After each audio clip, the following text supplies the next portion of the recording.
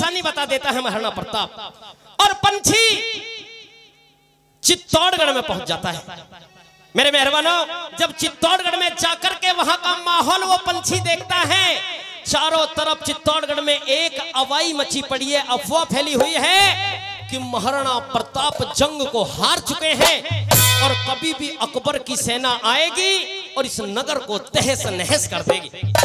मेहरबानों, इस तरह की इस तरह का माहौल चित्तौड़गढ़ के अंदर फैला हुआ है। भय बना हुआ है चारों तरफ़।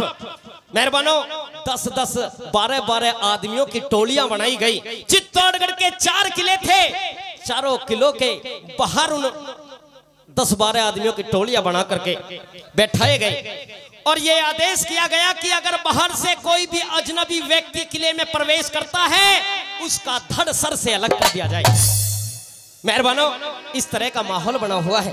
किस तरह से वो पंछी जाकर के देखता है और चित्तौड़ के अंदर क्या अफवाह फैली हुई है। आइए खेल क्या बोला?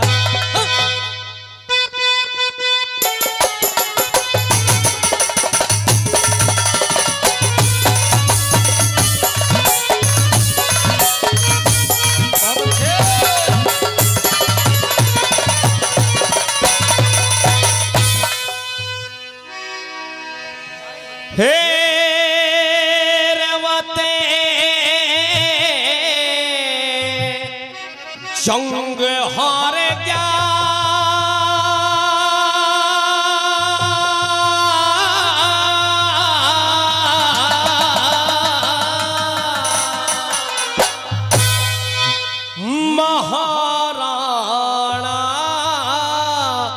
मेवाड़ी।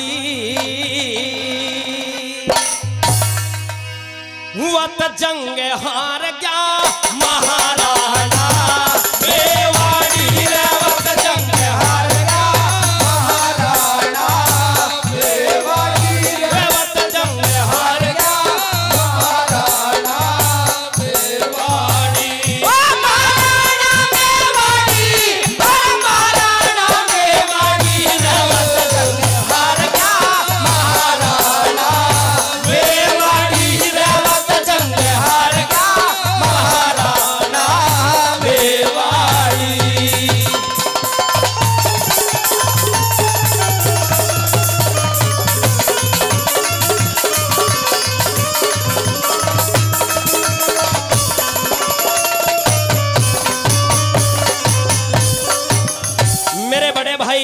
रामवीर सनो बिजो जी।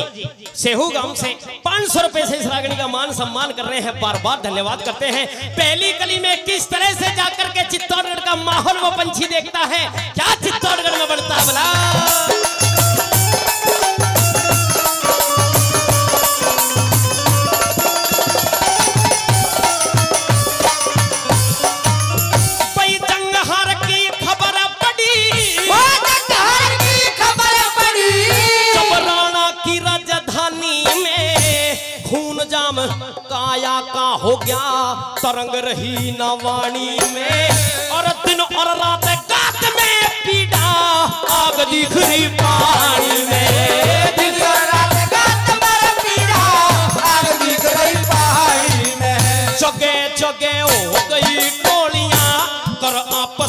सलाह रहे। धीरे बोले, सेठ काँप के अकल के अंकड़ चला रहे। और कोई कहे सुल्तान सीन पे, अपना झंडा हला रहे।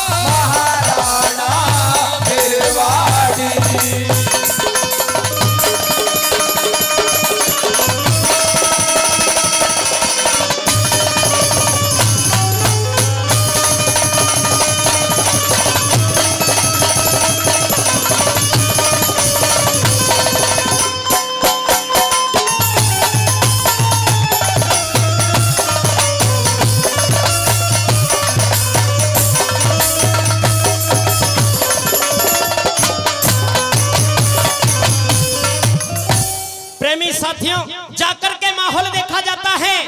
एक नंद सेठ जो उस नगर में रहा करते थे। और नंद सेठ की एक लड़की थी जिसकी यानी उम्र है, जिसका नाम था चंपा। चारों तरफ़ गली गली में घूम रही और समझा रही रे जो इस पृथ्वी पर आया है, उसे जाना एक दिन ज़रूर है, लेकिन पराधीन होकर के नहीं जाएँगे। किस तरह से समझाती हुई अगली गली में के बता रही है वो लड़की वाला?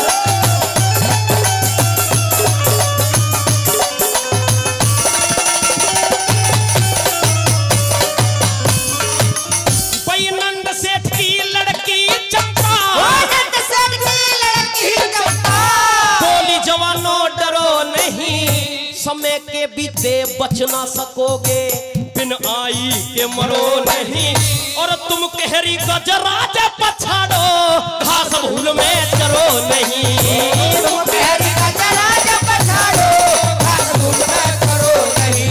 और चारों खूट किले की बैठो। करो किले के बंद किवाड़ मिट्टी चाटो मारवाड़ की। खेलो जीवन से खिलवाड़। जीते जी बढ़ जाए 他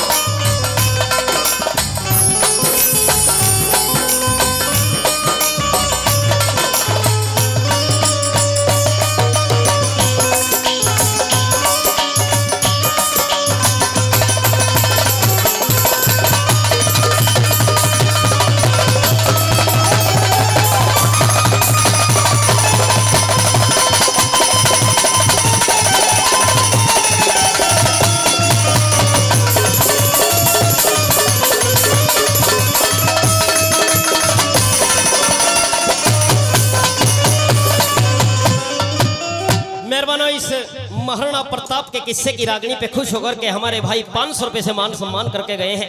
नाम नहीं बता के गए वे उनका बार बार धन्यवाद करते हैं। प्रेमी साथियों, वो लड़की चारों तरफ़ गली गली में घूम रही और समझा रही है पराधीन होकर के नहीं मरेंगे। और नारियों को भी समझा रही है। तुम हिंदू वाहिनी की नारिये हैं, समझो। उस हल्दी घाटी के जंग में आपका सिंदूर सुहाग मिट चुका है। खत्म हो चुका है सब कुछ।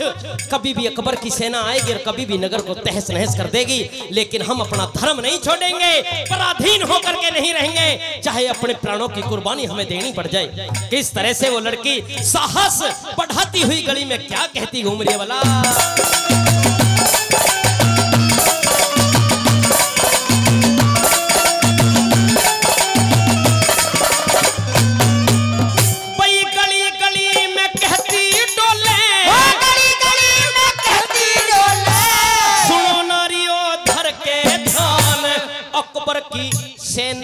सेना चढ़े आई हार गए राणा मैदान।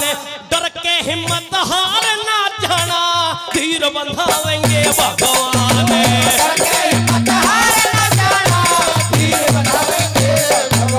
और हल्दी घाटी रण में थाना सिमट गया सिंदूर सुहाग।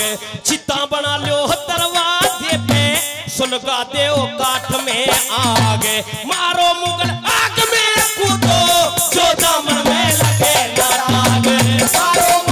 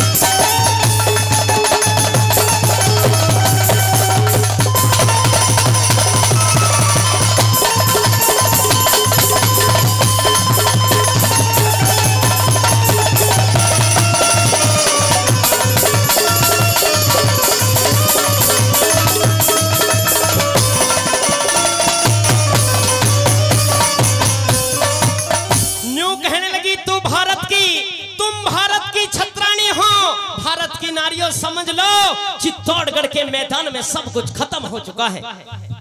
आज श्रृंगार कर लो, नए कपड़े पहन लो, साड़ी पहन लो, उमंग में भर के गीत गा लो। सब कुछ आज कर लो, क्योंकि अब जंग की तैयारी हो चुकी है। अगर बाहर से कोई भी आएगा तो हम नारी भी अपनी रक्षा खुद करने के लिए तैयार हैं। मेहरबानो, जब ऐसा कह करके वो लड़की पूरे नगर में जोश भर देती है। अब तो राज दरबार लगाया जाता है। मंत्री सामंत इकट्ठे होते हैं, राज पुरोहित को बुलाया जाता है और एक रचना रची जाती है। बात सामने आती है, सब इकट्ठा कर लिया जाता है और कहा जाता है कि महाराणा प्रताप जंग को हार चुके हैं। कभी भी बाहर से अकबर की सेना आ सकती है, नगर को तहस नहस कर सकती है। कहीं ऐसा ना हो, महाराणा प्रताप का एक लड़का है अमर सिंह, जिसकी उम्र अभी छह और सात वर्ष की है। रानी लक्ष्मी और उस अमर सिंह को बाहर कर दिया जाए, भगवान बचाएँगे। भगवान के भरोसे से, किले से बाहर कर दिया जाए, क्योंकि कभी भी कुछ भी हो सकता है, और हम नहीं चाहते कि हमारे आँखों आगे उस राणा वंश की निशानी को समाप्त कर दिया जाए। मेहरबानो, ये योजना बनाई जाती है। रानी लक्ष्मी और अमर सिंह को बुलाया जाता है और किले से बाहर कर दिया जाता है।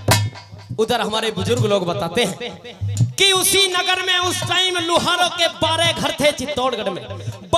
घर लुहारों के थे, जिन्हें आज भूबड़िया कहा जाता है, जिनकी गाड़ी चारों तरफ़ घूमती रहती है। उसी दिन सौगंध खाते हैं और अपनी गाड़ी को जोड़ करके अपने परिवार को इकट्ठा करके बाहर निकल जाते हैं कि हमने आटा और नमक इस भूमि का खाया है, इस नगर का खाया है। हम मर तो सकते हैं, लेकिन पराधीन होकर के नहीं जेल मेहरबानो, उसी दिन के लिकड़े हुए भूबड़िया हैं, जिनकी गाड़ी आज भी देश में घूमती है। किस तरह से गुरुजी ने अगली बात में ये बताया बोला